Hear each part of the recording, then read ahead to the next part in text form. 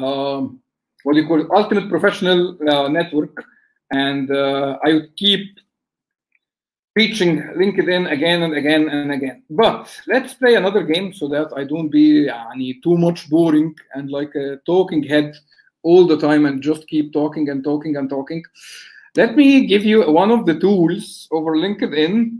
Uh, I shared, let me share here a link. Go to that link it's called LinkedIn Social Selling Index. If you go to that link that I just shared in the in the chat, uh, you would go to LinkedIn. It's a free tool by LinkedIn. Go to that page and you would find a button says "Get your free score." What this tool does is that it analyzes your LinkedIn overall performance in terms of your account, your content, your network, the overall performance of, of your LinkedIn account, and it gives you a score out of zero to 100. So please, number one, go to that tool, click on get your score, and share with us here your score that you have got out of that tool over the chat. Uh, I would I would stop here for just one minute for you all to go there, check that tool, get your scores, and uh, just uh, let me know. Ahmed Hassan is top uh, 2%. Congratulations, Hassan. You are doing a great job. But what's the overall score? How much did you get out of 100, the, the circle? How much is it out of 100? Uh, that's what I need to just quickly see how well are we performing currently over LinkedIn. So Afaf is 72. Congratulations. Ahmed is 66. That's a good job, guys. Yani, anyone above 60, that's a professional decent usage over uh, LinkedIn. Maybe Afaf is a little bit uh, more active. 72 is a good score. Anyone else? Who is the LinkedIn superstar in our webinar today? I'm just wondering if uh, anyone else got another score. Uh, please share it with us because it's interesting always to measure our performance over social media. Sometimes we, we have a trick and it's a, it's a problem that we just uh, rely on the number of fans, the number of followers, the number of our network, and that's the only indicator that we rely on. And this is unfortunately a fake indicator. If just the number of fans or followers is the indicator, then uh, I would say how many of them are active, how many of them are really engaged with your content. If you have, for example, you have a hundred uh, followers over Twitter, how many of these hundred they really engage with you? How many of them they really uh, retweet your content? How many of them talk to you? So the number, only the number of fans or followers, just as a number, standalone number, it does not indicate anything. Uh, the interactivity, the engagement, the interaction with your content is more important. Maybe I have a network of less people instead of 100, for example, theoretically. If I have a network of 100 people who do not engage with my content, then it's useless. But if I have a network of like 50, 60 people who are always talking with me, sharing my content, retweeting and commenting on my posts over LinkedIn, then that's more interesting. So please, uh, once again, um, uh, all of you, if you are interested to just check how is it going, please just uh, go to that tool and send us or share with us here your score over LinkedIn. By the way, in my previous online trainings, uh, most of the people were shy because they got a low score. Some people got like a two out of 100, five out of 100 just cross this barrier and just share it, whatever it is, because no one's perfect. If you have just got five out of 100, then that means that you can still do a great, great job. There is uh, some effort waiting for you. So if it's a small number or big number, I would highly invite you to share it. Haider is 55, which is a good job, uh. Uh, slightly, a little bit more steps so that really, again, the idea here is uh, bringing a decent account that people would really perceive as an expert, people would engage with, people would love to uh, go back and visit this account, and people would see this account as the expert where, where they can learn from, or they can contract to do some freelancing work with them. They can get back to him as the expert for uh, recommending some tools or being the consultant, helping them to solve some business problems that uh, that they do. And I agree with you, uh, Afif, 100% is most important uh, out of this because uh, LinkedIn, the, the social selling score, is based on four elements. One of the most important elements is really building uh, engaging and real relationships. Again, if I have thousand people connected with me over LinkedIn and they just keep posting, posting, and no one talks with me, comments on my posts, or shares my post, then it's useless. Or just these people keep liking what I post, just click, click, click, like, then that's that's useless. That's why LinkedIn Social Index it uh, it ca calculates also uh, the quality of your network and the quality of your engagement. How how far are you connected to a good number of relevant people? Maybe I'm a digital marketing expert, but most of the people that I have are uh, people who work in accounting or in oil and gas industry. Then it's a good network in an irrelevant industry. So, so that's what LinkedIn measures, not only the quantity, but also the quality, a good number of people relevant to your expertise. So uh, I agree with you, yeah, So that's the LinkedIn social selling and a few advices here and few uh, last advices over LinkedIn um, that I really learned myself here. So one, again, the profile. The profile is your magnet because I think if you are active over LinkedIn, maybe we see tens of profiles over LinkedIn every day. But a really catchy profile is the one that we would stay on that profile, check the skills of that person, go through the content of that person, talk with that person, etc. But if it's the very traditional normal profile that we see, then we just flip the timeline and check other content and other profiles. What I mean here is five elements about the profile. Number one, again and again, and moreover, is the profile picture. Because many people, they just mix between their uh, private usage or personal usage over social media, especially Facebook and Instagram, and they mix it with the professional usage, especially over LinkedIn and then Twitter. So avoid, let's say, uh, casual images while drinking some cool drinks on the beach. This might be like a profile picture for Instagram or maybe Facebook. But over LinkedIn, you need to be uh, a little bit of professional, decent uh, looking professional image. And moreover, again and again, the cover image so uh, if you can see the slide here, this is my own LinkedIn profile where over the cover image, you can see that the cover image summarizes what this account is about. This person, which is Fadi Ramzi, is an expert in digital marketing, and this person uh, teaches uh, online journalism. And then what's in it for me? Always uh, keep in mind the call to action. Okay, if you just visit that profile, okay, what I what can I do here? The profile says, join me on Facebook Live for social media tips every Monday at 10 p.m. Cairo time. So in a very, very quick, in a nutshell, if I uh, don't know what this Fadi Ramzi is about from the, the cover image, I knew that he's an expert. He has been featured over BBC, over Sky News Arabia, over uh, uh, Entrepreneur Arabi. So this guy is an expert and seems that he's a good expert because he was featured in an international media and how can I benefit from this account or from this uh, gentleman?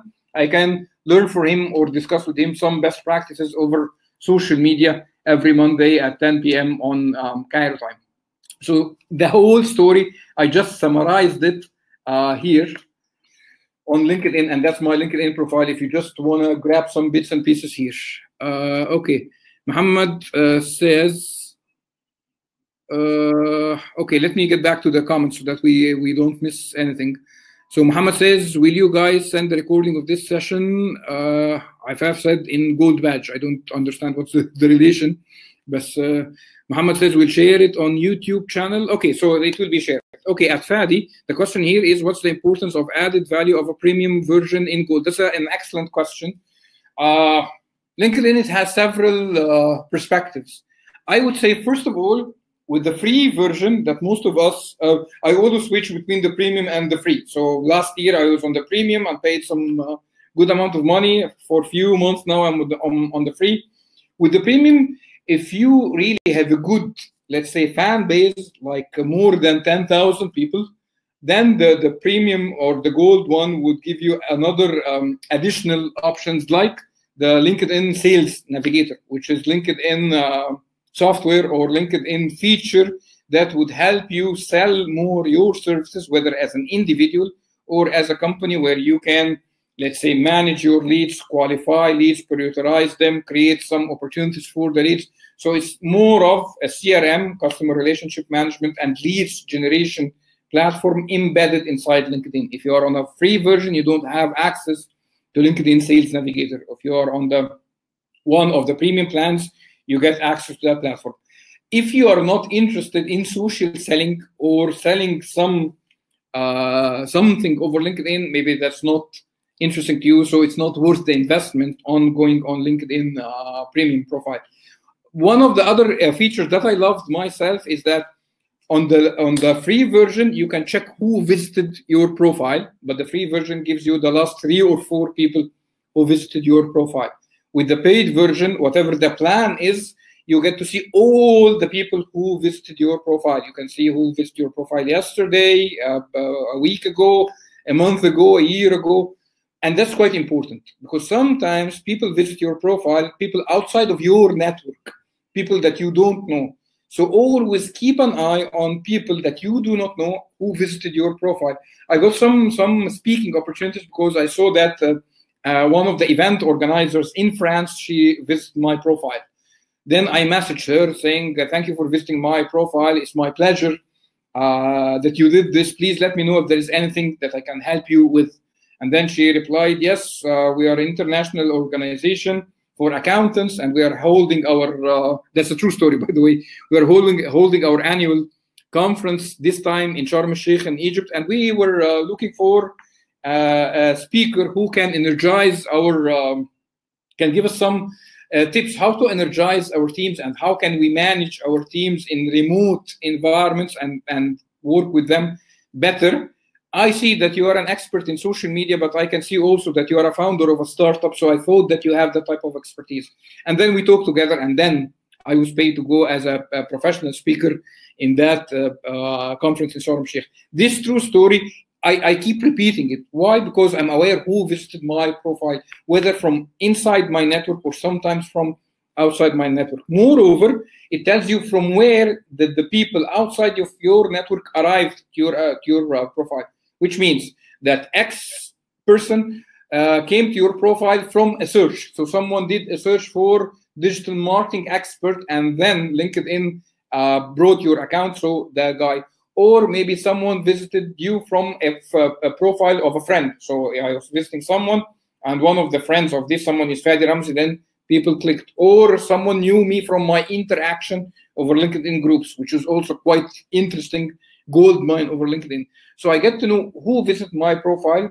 Am I connected to this person or not? And if not, how did this person get to know me? So the more you have these insights and you talk with these people, maybe the more you can grab some quick opportunities. I have said, uh, maybe she confirms the idea. I also build a lot of partnerships thanks to LinkedIn. It's really interesting, and we need to know very well how to use it uh, professionally.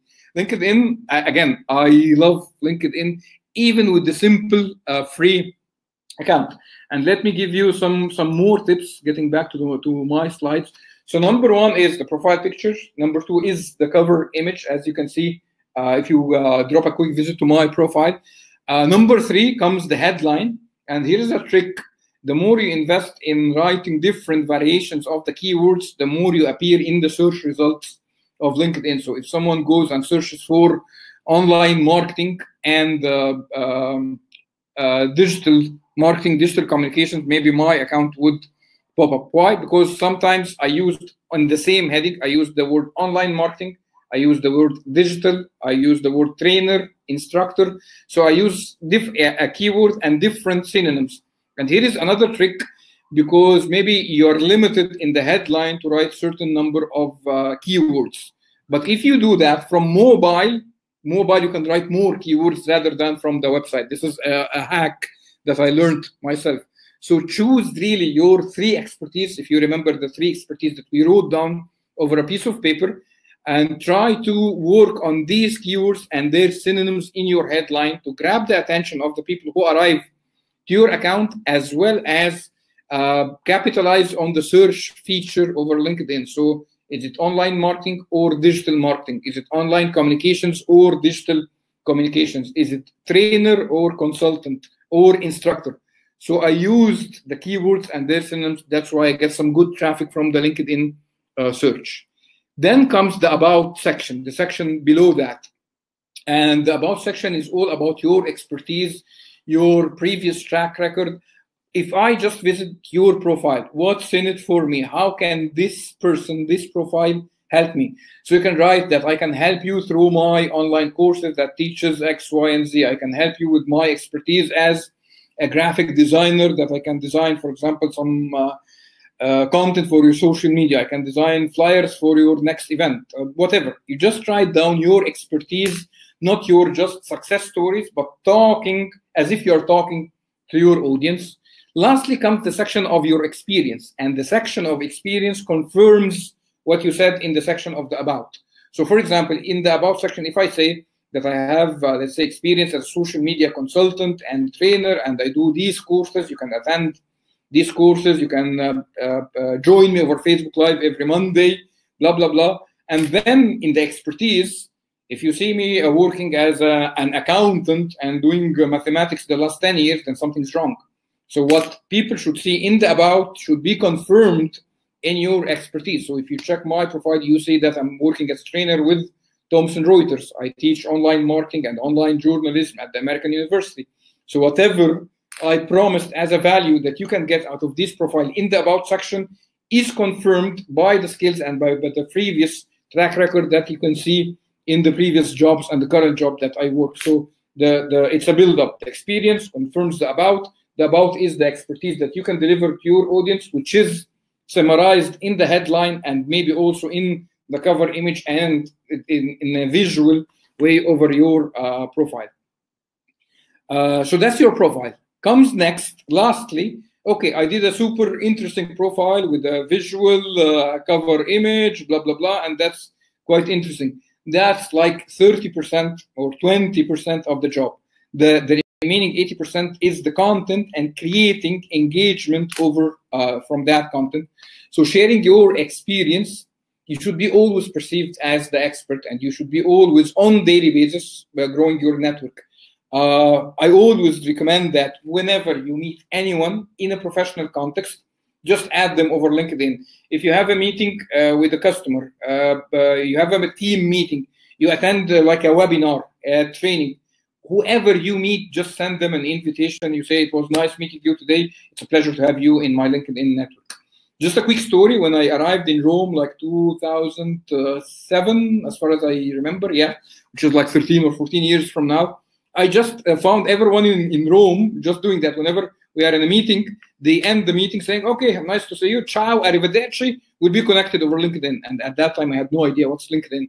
And always I got that uh, invitations in on my email uh, saying Fulan uh, has invited you over LinkedIn. And I didn't care. But the moment I start capitalizing on this, I started adding people and accepting people to my network.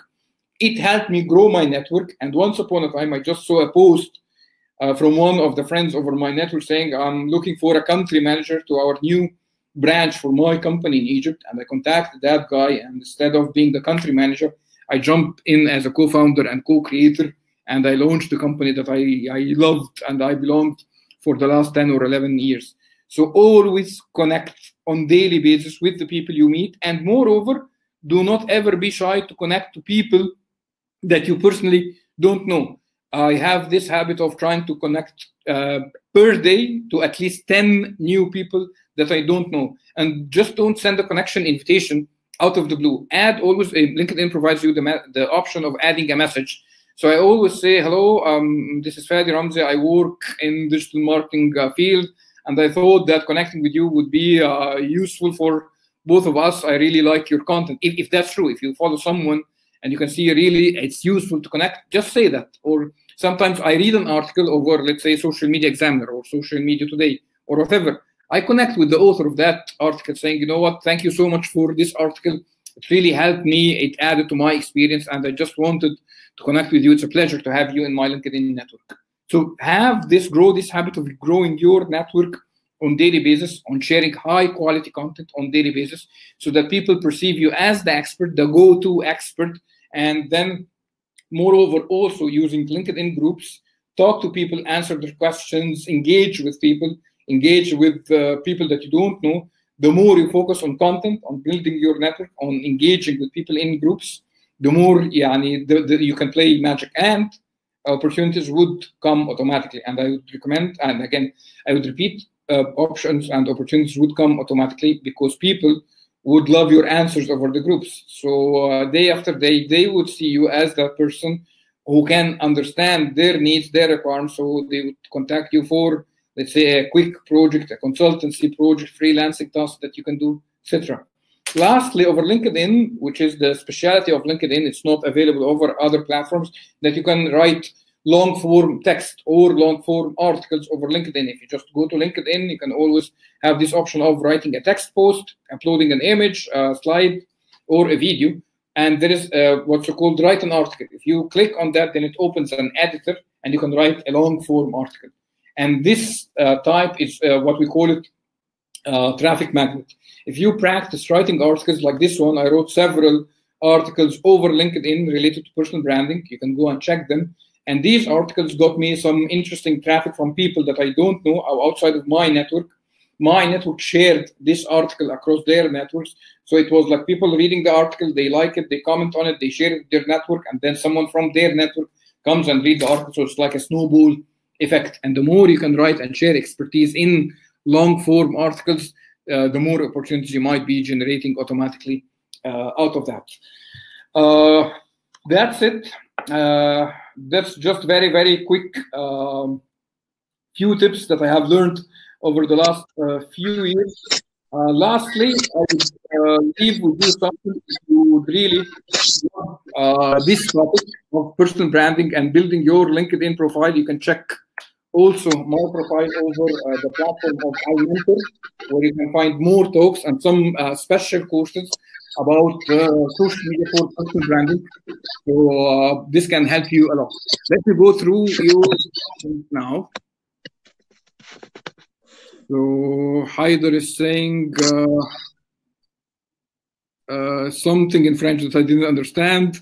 Abdaf is saying something about the power of LinkedIn. It's really magic, and I, I, I can't agree more. Afaf. By far, LinkedIn can play magic for us, and it's time. If we have some more time staying at home, please invest that time to the maximum over LinkedIn. It is important to select people who you add. Yes, for sure, you be adding relevant uh, people to your network, uh, or else uh, it wouldn't be very useful to you, to you and for them. Uh, other the other way around, yes, I always accept people even if I don't know them because these people they saw certain benefit or certain idea, certain reason for connecting. So I always accept strangers unless these strangers they look like a terrorist or something really fearful.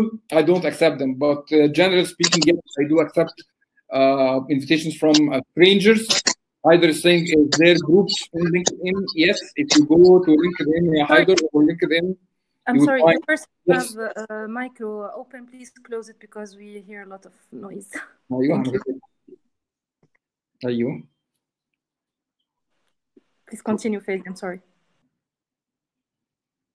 Shall we proceed? Yes. Okay, so uh, getting back to Haider's question, if you just open LinkedIn on the top navigation on the top uh, menu, you would find home, my network, jobs, messaging, notifications, me, and then work. If you click on work, there is a drop down menu that would open that has an icon called groups. If you go to groups, you would find lots of groups of relevant uh, topics that you can join and you can interact with people on daily basis. So uh, joining groups and investing some time on daily basis over groups, it's it's a good mind. It's the easiest way to connect with other people, and other people can connect with you and and grow your network with the same professional people, just like uh, yourself.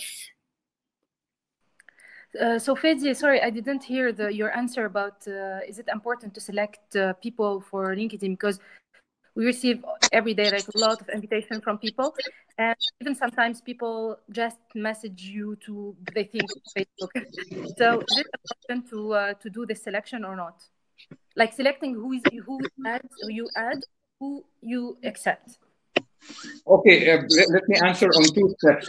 Who do I add? Yes, I am very precise about who am I adding because it should be uh, relevant and useful to me as well as to him. So I always uh, send invitations to people that I learn from, or maybe I can do something useful for them. The other way around is not. I always accept invitations from strangers unless there is something really strange about this stranger. I always check their profile as long as I just said uh, this guy or this lady does not look like a terrorist or something weird, then most probably I can accept. If the guy is like uh, with the skill, with the knife in his face and you know stabbing you with something, or this account looks like it's really not useful, the guy is not in the same field, unless you have a valid reason, do not accept it. But generally, the default is I accept all strangers unless I have a valid reason. I think this might answer the question you have. Thank you so much. It's perfectly answering what I wanted to, to know because I really would like. I'm I'm very fan of LinkedIn. Really, really, it helped me a lot personally in a lot of things. So I really advise everyone to have a LinkedIn account to know very well how to use the LinkedIn account because it's very important. It's magic. And that's so. If anybody else have some idea, some questions, they can ask it right now uh, concerning this topic.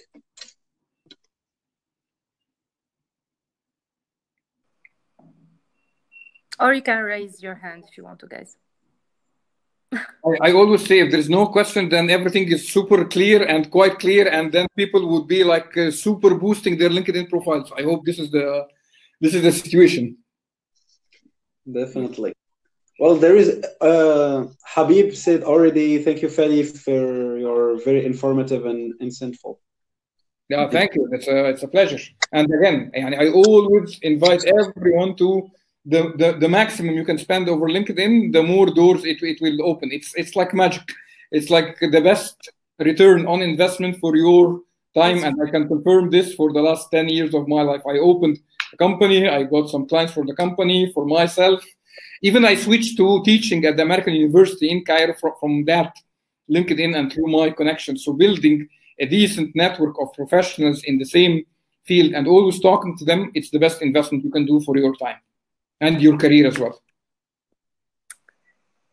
Thank you so much, Fedzi, once again. And guys, we shared with you our Facebook uh, group. You're welcome to join.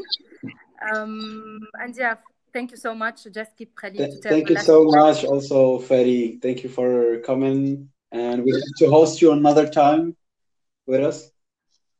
And for Basant right now, it's an interesting session. It's always a pleasure, and I wonder if uh, uh, we can do what you just asked for. It. Can people open their camera so that we have a group photo? Yani in, in physical classes, we do a group photo, and we do that online if you would like. Come on, guys, we can do a video. We only have Haider. Only an active guy with us. Maybe other people can be uh, not ready for the camera, which is fine. But if anyone can be ready for the camera, it's always interesting to have like a group. So we have uh, we have several people, but uh, I think no one is ready for the camera. آخر فرصة يا جماعة for the group photo. Okay. All right. So, so thank you again, guys. Thank you for attending, and please join our Facebook group and Fedzi. We keep in touch, and uh, you're welcome again to Tunis or to to anywhere. You know, thank you so much, guys. Thank you so much. If you come to Germany.